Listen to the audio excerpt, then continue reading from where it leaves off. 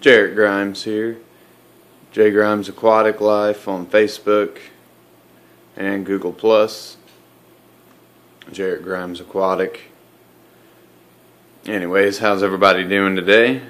Hope you're doing well. We're looking at my 75 gallon Planted Aquarium.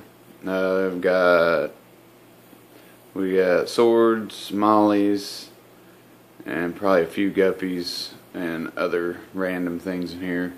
Quite a bit of shrimp as well. Um, just now getting to the point where I'm getting the tannins out of the water. The tank is cycled. There's about 30 too many fish in there, so I'm running two canisters on it right now. Just some old magnums. It's nothing fancy. Trying to get my plants to flourish. But they're doing fairly well. The sword is just massive. I've trimmed it three times in the last month. It's getting to that point. It's not really cloudy anymore. It just has a slight clarity deficiency. Anyways, got that one.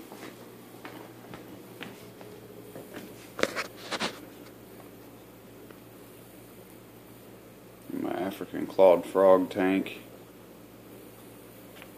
This guy here. I can't get the focus.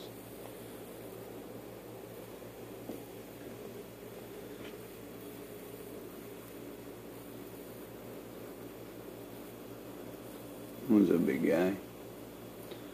Anywho, I gotta transplant a couple of those in the pots into the bigger tank. So it has higher light. This is a low tech, low light tank. Then I have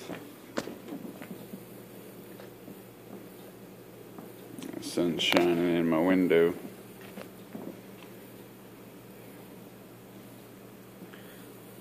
Another higher light mid tech tank. A lot of Java fern and guppy grass and Java moss just takes over that center there. If I don't trim it, it's everywhere in the tank. My sword's kind of mad at me right now, so I've moved it. It's coming back looking good. Got moss back there. That's my planted tanks. And that one. None.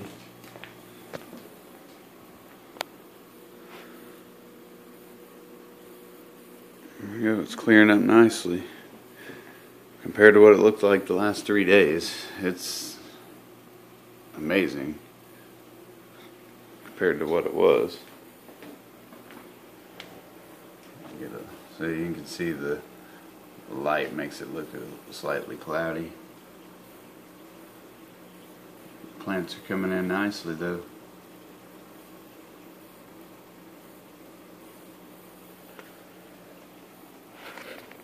Thanks for watching guys. Peace.